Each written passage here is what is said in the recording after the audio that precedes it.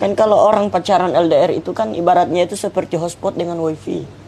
Kenapa? Dekat dia akan tersambung, namun jauh dia mencari perangkat lain agar bisa terhubung.